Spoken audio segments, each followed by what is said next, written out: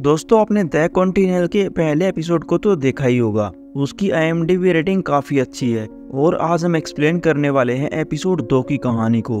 तो अगर आपने एपिसोड वन नहीं देखा है तो उसका लिंक मैं डिस्क्रिप्शन में दे दूँगा। और आपसे एक छोटी सी रिक्वेस्ट करते हैं कि अगर आपको हमारी थोड़ी सी भी मेहनत पसंद आती है तो प्लीज़ चैनल को ज़रूर सब्सक्राइब कीजिए। जहाँ पिछले एपिसोड के आखिर में हमें पता चला था कि फ्रैंकी को गोली मार दी गई है और उसी वजह से वह मर चुका है। और एपिसोड टू की शुरुआत में हमें एक पास्ट को दिखाया जाता है, जहाँ पर विंसेट और फ्रैंकी ये दोनों जब बहुत छोटे हुआ करते थे, तब भी ये दोनों कोरमैक के लिए ही काम किया करते थे। जहाँ ये किसी के घर में छोटा सा विस्फोट करते हैं, विंसेट को यह लगता था कि इस घर में कोई नहीं होगा, लेकिन विस्फोट के बाद विंसेट को पता चला कि इस घर के अंदर लोग रह रहे हैं। इस वजह से वह बहुत उदास होता है तो फ्रैंकी उसे वहाँ से निकाल कर ले जाता है। और इस तरह से इस एपिसोड की शुरुआत होती है। कहानी वापस प्रेजेंट में आती है, जहाँ विंसेंट अपने भाई फ्रेंकी की मौत पर बहुत दुखी है। उसे अपने भाई फ्रैंकी का थोड़ा सा सामान मिलता है, जिसे विंसेंट खुद रख लेता है और एक छोटे से हॉस्पिटल में आकर अपने भाई की डेड बॉडी को जला देता है। बाद में हमें येन का एक छोटा सा पास्ट दिखाया जाता है, जहाँ उन्नीस सौ तिहत्तर के अंदर येन अपने हस्बैंड के साथ होती है और उससे माफ़ी मांगती है कि मैं तुम्हें कोई वारिस नहीं दे पाई। इस बात पर उसका हस्बैंड कहता है कि इसमें कोई परेशानी वाली बात नहीं है और वह येन की बॉडीज पर बहुत सारे बॉम्ब लगा देता है और उसे किसी भीड़ भाड़ वाले एरिया में जाने के लिए बोलता है और कहता है कि हम दोनों का प्यार हमेशा ज़िंदा रहेगा और उसी वजह से येन यहाँ से एक वैश्यालय के अंदर चली जाती है और वहाँ पर जाकर अपने बॉम्ब का बटन दबा देती है। लेकिन येन की अच्छी किस्मत थी, वह बॉम्ब नहीं फटता। इसी वैशाल्य के अंदर फ्रेंकी भी आया होता है और बाद में येन और फ्रेंकी की दोस्ती हो जाती है। खैर कहानी वापस प्रेजेंट में आती है।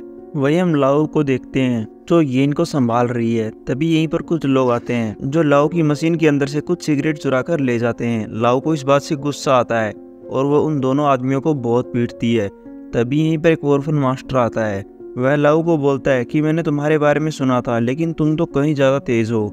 लाओ यहाँ पर ओरफन मास्टर से बोलती है कि मेरे डैड के बीच में और तुम्हारे बोस चेन के बीच में एक सौदा हुआ था। कि हम दोनों एक दूसरे के बिज़नेस के अंदर कोई दखल अंदाजी नहीं करेंगे। लेकिन तुम मेरे बिज़नेस के अंदर दखल अंदाजी दे रहे हो, और यह चीज़ मुझे बिल्कुल भी पसंद नहीं है। और इतना बोलकर लाऊ वापिस से अपने बेस में चली जाती है। दूसरी तरफ़ हम केडी और पुलिस वाले मेहू को देखते हैं। मेहू यहाँ से केडी के पास जाता है। केडी यहाँ पर मेहू से बोलती है कि तुम मुझसे कुछ दूर रहा करो। मेरा ध्यान काम पर नहीं रहता, और तुम बस अपने फ़ायदे के लिए मेरे पास आए हो। मेहुल बोलता है कि मैं बस तुम्हारी मदद करना चाहता हूँ। तभी केडी के पास यहाँ पर एक कॉल आता है, जहाँ केडी को बताया जाता है कि जिस इंसान की तुम तलाश कर रही हो, यानी जिस फ्रेंकी की तलाश कर रही हो, वो फ्रेंकी मारा जा चुका है। इस बात को सुनकर केडी थोड़ा हैरान रहती है। वही हम विंसेट को देखते हैं, जो अपने भाई की अस्थियों को लेकर आया है। यहाँ पर माइल्स होता है, वह बताता है कि तुम्हारा भाई मरने से पहले अच्छा काम कर गया। कोरमैक को जो बॉक्स मिला था, वह खाली था। और जो चीज़ उस बॉक्स के अंदर थी, वह तुम्हारे भाई ने कहीं पर छुपा रखी है। यहाँ पर विंसेट बोलता है कि मैं कोरमैक को मारना चाहता हूँ और मुझे तुम लोगों की ज़रूरत है। माइल्स बोलता है कि यह जितना आसान दिखता है, उतना आसान है नहीं। उस कॉन्टिनेंटल होटल के अंदर ऐसे बहुत सारे लोग हैं, जो हमें पल भर में मार सकते हैं। विंसेट बोलता है कि अगर हम कोरमैक को मार देते हैं तो कोरमैक का सब कुछ हमारा हो जाएगा। यहाँ तक कि उसके सारे हथियार भी हमारे होंगे, और तुम उन हथियारों से बहुत सारे पैसे बना सकते हो। तभी यहीं पर येन आती है। वह पूछती है कि फ्रेंकी कहाँ है? उसे पता चलता है कि फ्रेंकी तो मारा जा चुका है। इस बात से येन विंसेट के ऊपर गुस्सा करती है कि अगर विंसेट नहीं आता तो आज फ्रेंकी ज़िंदा होता और येन यहाँ पर विंसेट के ऊपर गुस्सा करके चली जाती है। हम केडी को देखते है जो यहाँ से उसी जगह पर पहुँच जाती है जहाँ पर फ्रेंकी की लाश को चलाया गया था और वह यहाँ पर एक आदमी को टॉर्चर करती है जिसका एजरा नाम है और उससे पूछती है कि यहाँ पर फ्रेंकी की लाश को कौन लेकर आया था और जब उसकी लाश को जलाया गया था, तब उसके साथ साथ कौन था? तो एजरा बोलता है कि मुझे नहीं पता कि वो लोग कौन थे। उनमें से एक फ्रेंकी का भाई था। मुझे बस बहुत सारे पैसे मिले थे, इसीलिए मैंने उसके भाई की लाश को जला दिया। वहीं हम होटल के अंदर कोरमैक को देखते हैं। उसके पास मास्क वाली लड़की आती है और वह बताती है कि पिछली रात तुम लोगों ने सब कुछ गड़बड़ कर दिया। तुम लोगों ने कोइन प्रेस को खो दिया और वह कोरमैक को बोलती है कि तुम्हारे पास केवल तीन दिन है। तीन दिन में कोइन प्रेस को ढूंढो और जो गद्दार हैं उन्हें पकड़ो, नहीं तो तुम बर्बाद हो जाओगे और तुम्हारी जगह मैं किसी और को दे दूँगी। इस बात से कोरमैक डर जाता है। वही विंसेंट भी कोरमैक से लड़ने के लिए तैयारियाँ कर रहा है और वह माइल से पूछता है कि ऐसा कोई इंसान है जो हमारा साथ दे सकता है? तब ये लोग बोलते हैं कि हमारे एक डैड का दोस्त है, जिसका जेन नाम है। वो कॉन्टिनेंटल होटल के अंदर रहा भी है। हम उसकी मदद ले सकते हैं। साथ ही साथ एक लड़की के बारे में भी बताते हैं कि अगर वह लड़की हमारी तरफ़ हो जाए तो हम कोरमैक को मार सकते हैं। तो माइल्स यहाँ से सीधा जैन के पास जाता है। जैन एक स्नाइपर होता है, जो काफ़ी बूढ़ा हो चुका है और माइल्स उससे पूछता है कि हम कॉन्टिनेंटल के ऊपर हमला करने वाले हैं और हमें आपके साथ की ज़रूरत है। जैन इस काम के लिए पहले से ही तैयार बैठा था। वह हाँ बोल देता है। जैन पूछता है कि मुझे पूरी कहानी बताओ, लेकिन माइल्स बोलता है कि बस तुम्हारा साथ चाहिए।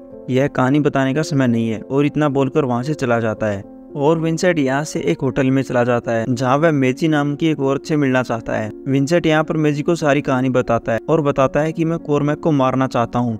और इस पूरे शहर में केवल तुम ही एक ऐसी हो, जो कोरमैक के लिए काम नहीं करती, और मैं तुम्हें इस चीज़ के लिए अच्छी खासी कीमत दे सकता हूँ। तो मैजी बोलती है कि मुझे पैसों में नहीं खरीदा जा सकता। मुझे ज़रूरत है बस थोड़े से प्यार की। विंसेंट मैजी की बात नहीं समझ पाता। मैजी बोलती है कि यहाँ पर मेरे आदमी है। मैं चाहती हूँ कि लोग उनका सम्मान करें, उन्हें भी देखें, उन्हें पहचाने। मैं एक अमीर घराने से हूँ। मुझे पैसे की कोई ज़रूरत नहीं है। और मुझे तुम एक बात बताओ, तुम वो आदमी क्यों हो जो कोरमैक को मारना चाहता है? विंसेंट इस बात का जवाब नहीं दे पाता। तभी यहीं पर कोरमैक के आदमी आ जाते हैं, लेकिन मैजी के आदमी उन लोगों को अच्छे से संभाल लेते हैं और मार देते हैं। मैजी बोलती है कि अब तुम्हें यहाँ से जाना होगा।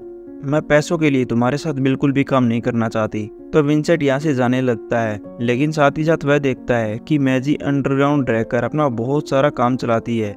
वह यहाँ पर गन्स बनाती है और उनकी बुलेट्स भी बनाती है। वही हम चार्ली के घर को देखते हैं। चार्ली जो कि अब तक लापता है। यहाँ पर कोरमेक के आदमियों में वो ट्विन आते हैं, जो चार्ली के घर को तोड़ना शुरू कर देते हैं, क्योंकि वो यहाँ पर देखना चाहते हैं कि यहाँ कोइन प्रेस है या नहीं। लेकिन उन्हें यहाँ पर कोई भी कोइन प्रेस नहीं मिलता। और उसी वजह से वो लोग यहाँ से चले जाते हैं। वही हम येन को भी देखते हैं जो अपने पुराने घर में आई होती है, जहाँ उन्हें फ्रेंकी के साथ बहुत सारी यादें बनाई हैं। और वह यहाँ पर आकर फ्रेंकी की कुछ पुरानी चीज़ों को देखकर रोने लगती है। तब तक कौरमे के कुछ आदमी यहाँ पर भी आ जाते हैं, और येन का इस बात का पता चल जाता है। लेकिन येन, जो कि बहुत ज़्यादा बहादुर है, और उसी वजह से वह कोरमे के एक एक आदमी को मार देती है। अब विंसेंट भी यहाँ से चार्ली के घर पर चला जाता है, लेकिन वह देखता है कि चार्ली का पूरा घर तहस नहस हो चुका है।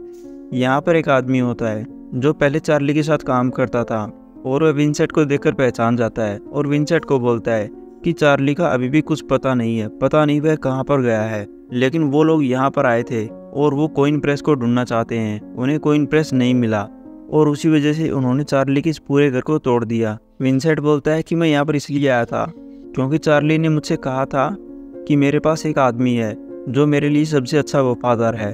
तो यह आदमी बोलता है कि वो आदमी मैं ही हूँ, मैं तुम्हारे लिए काम करूँगा। वही कोरमैक को देखते हैं जो बहुत ज़्यादा परेशान हो चुका है, क्योंकि उसके पास केवल और केवल तीन दिन है, इसीलिए वह अपना गुस्सा आदमियों पर निकालता है और अपने आदमियों से बोलता है कि तुम लोग कुछ भी काम के नहीं हो, तुम यहाँ से चले जाओ और जल्दी से जाकर उन गुनेगारों को ढूंढो और उस कोइन प्रेस को भी ढूंढो, नहीं तो वह हाई टेबल मुझे मार देगी, यानी वह मास्क वाली लड़की। वही विंसेट भी माइल्स लो और लेमी इन तीनों के साथ प्लानिंग कर रहा था। यहाँ पर जेन भी होता है, तभी यहीं पर येन आती है और उसके पास कॉन्टिनेंटल होटल का पूरा मैप होता है और यह मैप खुद फ्रेंकी ने तैयार किया था, यानी कि वह भी उस होटल के ऊपर हमला करना चाहता था। जेन बोलता है कि मुझे उस होटल के बारे में सब कुछ अच्छे से पता है, कौन सा कमरा कहाँ पर है और वहाँ पर किस तरह के लोग हैं मुझे सब पता है। जेन बोलता है कि हमें कोई अंदर का ही आदमी चाहिए, लेकिन होटल के अंदर का आदमी मिलना मुश्किल है, क्योंकि अंदर के जितने भी लोग हैं या तो वो कोरमे के बहुत ज़्यादा वफादार हैं, या वो भरोसे के काबिल नहीं है। वही डिटेक्टिव के भी पुलिस वाले मेहू से मिलती है और उससे बोलती है कि मुझे तुम्हारी ज़रूरत है। तुम्हें मेरे लिए एक वैन के बारे में पता करना होगा और यह काम तुम्हें बिना वारंट के करना होगा। तो मेहू केडी के लिए यह काम करने के लिए तैयार हो जाता है। बाद में हम येन और माइल्स को देखते हैं जो एक वैन में बैठकर यहाँ से जा रहे होते हैं। माइल्स यहाँ पर येन को बताता है कि मैं और फ्रैंकी एक साथ काम कर रहे थे। हम लोगों ने जंग के दौरान भी एक ही साथ काम किया था। फ्रैंकी ने मुझे वो सब दिया है, जिसकी मुझे तलाश थी। मैं बहुत अकेला महसूस किया करता था, लेकिन फ्रैंकी ने ही मुझे संभाला है। येन फ्रैंकी को फिर से याद करके रोने लगती है। तब माइल्स यहाँ से एक जगह आ जाता है, जहाँ पर बहुत सारी वैन होती हैं, और उसे यहाँ पर एक वैन को चुराना है। लेकिन जैसे ही वह वैन को चुरा रहा था, तब तक वहीं पर एक सिक्योरिटी गार्ड आ जाता है, जो माइल्स को यह करते हुए रोक लेता है। लेकिन येन वो यहाँ का दरवाज़ा दूसरी वैन से तोड़ देती है और ये लोग इस वैन को चुरा कर यहाँ से ले जाते हैं। कॉन्टिनेंटल होटल की छत के ऊपर हम सैरोन और थॉमस इन दोनों को देखते हैं। थॉमस जो यहाँ पर एक वायलिन बजाता है और वह सैरोन को बोलता है कि मेरा सिलेक्शन हो चुका है। कुछ ही टाइम बाद मैं यहाँ से चला जाऊँगा और वह सैरोन से पूछता है कि तुम अपनी ज़िंदगी से क्या चाहते हो? क्या तुम यहाँ पर खुश हो? तब सैरोन हाँ में जवाब देता है। सैरोन अपने डैड को एक लेटर लिख रहा होता है और वह थोड़ा सा परेशान है। और सैरोन यहाँ पर थॉमस को बोलता है कि मैं मेरे डैड को यहाँ पर बुलाना चाहता हूँ, क्योंकि अभी जिस जगह पर मेरे पिता हैं, वहाँ पर उनके साथ बहुत बुरा व्यवहार हो रहा है। जब मैं पहली बार अमेरिका आया तो मैंने अपने डैड को अपनी फ़ोटो दिखाई थी। तब मेरे डैड बहुत खुश हुए थे। उन्हें मुझ पर प्राउड फील हुआ था। बस मेरा यही सपना है कि मैं इसी होटल के अंदर काम करूँ और अपनी पूरी ज़िंदगी यहाँ पर कोरमैक के नाम कर दूँ। थॉमस पूछता है कि क्या तुम्हारा यहाँ से बाहर जाने का मन नहीं करता? क्या तुम बाहर जाकर आम लोगों की तरह ज़िंदगी नहीं जीना चाहते इंजॉय नहीं करना चाहते? तब सैरोन बोलता है कि मेरी ज़िंदगी अब यहीं पर है, मैं सब यहीं करना चाहता हूँ। लेकिन हम देखते हैं कि किसी दूसरी बिल्डिंग से जेन और विंसेट इन दोनों के ऊपर निगाह रख रहे हैं। विंसेट बोलता है कि तुमने कहा था कि उस होटल के अंदर दो तरह के लोग हैं। अब देखकर बताओ कि इनमें से कौन वफादार है और कौन भरोसे के काबिल नहीं है। तब यहाँ पर जेन सैरोन की बहुत सारी फ़ोटो क्लिक कर लेता है। और जेन अपना काम शुरू कर देता है। सैरोन यहाँ से अगली सुबह पोस्ट ऑफ़िस में जाता है, जहाँ उसे उसके डैड का पत्र मिलता है, जिसमें उसका डैड बताता है कि यहाँ की हालत बहुत ज़्यादा खराब हो चुके हैं। इस चीज़ से सैरोन टूट जाता है। तभी सैरोन के पास उसका एक दोस्त आ जाता है, जो सैरोन को यहाँ से ले जाता है, और सैरोन जो लेटर पढ़ रहा होता है, वो वहीं पर टेबल पर रख देता है, और तभी यहीं पर लो आ जाती है जो उस लेटर को ले लेती है, और यह लेटर वह विंसेट को दिखाती है। और विंसेट इस लेटर को पढ़ लेता है और उसे पता चल जाता है कि सैरोन के घर पर बहुत ज़्यादा प्रॉब्लम चल रही है। विलियम पुलिस वाले मेघू को देखते हैं, जो यहाँ से एक घर में चला जाता है और उस घर की अच्छे से छानबीन करनी शुरू कर देता है। यहाँ पर उसे एक बॉक्स मिलता है और उस बॉक्स के अंदर कुछ चमकने वाली चीज़ होती है, जिसे वह ले लेता है। लाओ भी जब अपने घर पर आ रही थी, तब उसके घर के ऊपर कोई लड़का पत्थर मार देता है और लाओ जब इस लड़के का पीछा करती है तो यह लड़का यहाँ से ओरफन मास्टर के पास चला जाता है। लाओ बोलती है कि तुम्हारे लड़के ने हमारे शीशे तोड़े हैं। या तो उस कचरे को तुम साफ़ करो, या यह लड़का साफ़ करके आएगा। तब यहाँ पर ओरफन मास्टर के और भी आदमी आ जाते हैं, जो लाऊ के ऊपर हमला कर देते हैं। लेकिन लाऊ बहुत ज़्यादा हिम्मत वाली लड़की होती है और उसी वजह से वह उन सारे आदमियों को पीट देती है। तब ओरफन मास्टर यहाँ पर लाऊ को बोलता है कि हमें अंदर जाकर बात करनी चाहिए। जहाँ अंदर जाकर वो दोनों बातें करनी शुरू कर देते हैं। तो ओरफन मास्टर यहाँ पर बोलता है कि तुम्हारे डैड के बारे में बहुत सारी ऐसी बातें हैं जो तुम्हें खुद नहीं पता। लव बोलती है कि मुझे जानना भी नहीं है। मुझे पता है कि तुम मेरे डैड से जलते थे, क्योंकि मेरे डैड ने जितना भी कुछ किया, वो अपनी मेहनत के बलबूते पर किया है। दूसरा, वो ब्लैक थे, और उसी वजह से तुम यह सोच रहे हो कि मेरे पिता ने अपने दम पर इतना सब कुछ कैसे कर लिया। और वह ऑर्फन मास्टर को बोलती है कि तुम गटर के कीड़े हो और इतना कहकर वहाँ से चली जाती है और अपने डोजो के अंदर आकर वह सिगरेट की मशीन को बाहर फेंक देती है। बाद में ये लोग यहाँ से एक बस में चले जाते हैं, जहाँ पर बस के अंदर सैरोन होता है। उस बस के अंदर से सारे यात्रियों को उतार देते हैं। बस वहाँ पर सैरोन रहता है और इस बस को एक सुनसान जगह पर ले आते हैं। तब वहाँ पर विंसेंट सैरोन से बातचीत करता है और सैरोन को बोलता है कि मैं यहाँ पर बदला लेने के लिए नहीं आया, बल्कि मुझे न्याय चाहिए। विंसेंट बोलता है कि जब हम बहुत छोटे थे, चोरियाँ तो हम तब भी किया करते थे। हमें एक लिस्ट मिलती थी और उसके हिसाब से हमें लोगों से पैसा वसूलना था। लोग बिना बोले ही हमें पैसा दे देते थे, लेकिन एक दिन हमारे ऊपर हमला हुआ। हमें घसीटते हुए कोरमे के पास ले जाया गया। तब मेरे जूते फटे हुए थे। जैसे मानो कि मेरी कोई रिस्पेक्ट नहीं करता। और उसने हम दोनों में से पूछा कि पैसे इकट्ठे करने का, तुम दोनों में से किसका आइडिया था? तब मैंने सच बताया कि यह आइडिया मेरा था। और बोलता है कि बाद में हम कोरमैक के लिए काम करने लगे। कोरमैक तय करने लगा कि हमें अपनी ज़िंदगी में क्या करना है। और सेम वही तुम्हारे साथ कर रहा है। विंसेंट बताता है कि बाद में मैं स्कूल में जाने लगा। उसने मुझे नए जूते दिलवाए। कोरमैक वफादारी की बात करता है। लॉयल्टी की बात करता है। लेकिन वह ऊपरी दिखावा है। अंदर से कोरमैक बहुत ज़्यादा कमीना है। और वह अपनी सच्चाई किसी के सामने बाहर नहीं आने देता। मुझे पता है कि तुम्हें मदद की ज़रूरत है। तुम्हें हमारे लिए काम करना होगा। तुम्हें वो सब करना होगा जो तुमने कोरमैक से वादा किया है। तुम्हें वफादारी लॉयल्टी इन सबसे दूर जाना होगा और इन सब के वादे तोड़ने होंगे। और वह सैरोन को एक एनवेलोप देता है और सैरोन इस एनवेलोप को खोलता है। वह हम कोरमैक को देखते हैं जो होटल के अंदर होता है और वहाँ होटल के अंदर वह वायलिन बजाने वाला थॉमस नाम का लड़का भी होता है। यहाँ पर कोरमैक थॉमस से बोलता है कि तुम कोई वफादारी की धुन बजा सकते हो? तो थॉमस हमें जवाब देता है। साथ ही थॉमस यह भी बोलता है की मेरा सिलेक्शन हो चुका है। अब मैं यहाँ से जाऊँगा और अपना वायलिन बजाने का सपना पूरा करूँगा। साथ ही वह सैरोन के बारे में बोलता है कि वह आपके लिए बहुत ईमानदार है। मैंने उसे यहाँ से बाहर जाने के लिए बोला था, लेकिन उसने मना कर दिया। वह बोलता है कि मेरा फ्यूचर यहीं पर है, और मैं हमेशा से कोरमैक के साथ रहना चाहता हूँ। तब वह यहाँ पर एक धुन बजाने लगता है, लेकिन कोरमैक वो पीछे से आकर थॉमस के ऊपर हमला कर देता है, और उसे बुरी तरीके से पीट कर उसे मार देता है। और यह बात हाई टेबल यानी मास्क वाली लड़की को पता चल जाती है कि कोरमैक ने अपने होटल में एक आदमी को मार दिया। तो वह बोलती है कि हम बस चुपचाप देखते रहेंगे। हमें बस कोइन प्रेस की फ़िक्र है, हमें बस वो चाहिए। वहीं सैरोन भी जब होटल के अंदर आता है तो उसे थॉमस की लाश मिलती है। कोरमैक बोलता है कि इसने चोरी करने की कोशिश की थी, और उसी वजह से मुझे इसे मारना पड़ा। हालाँकि इसने अपना गुना कबूल कर लिया था। अब मुझे एक ऐसे इंसान की ज़रूरत है, जो मेरे लिए वायलिन बजा सके। और वह सैरोन को बोलता है की तुम्हारे पिता यहाँ आएँगे ना? वो हमारे लिए भी वायलिन बजाएँगे ना?